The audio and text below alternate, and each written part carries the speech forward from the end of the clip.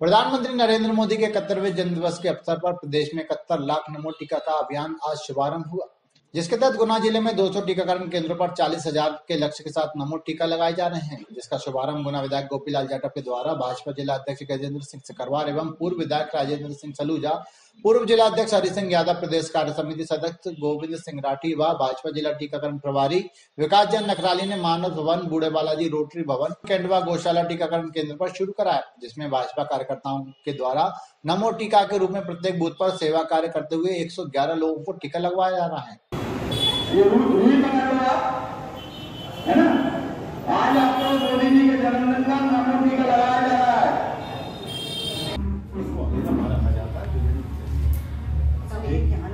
थोड़ा पीछे रखते हैं। क्या कि सरकारी स्टाइल है। पुरानी सरकारी क्रम की। तो अलग चल रहा है।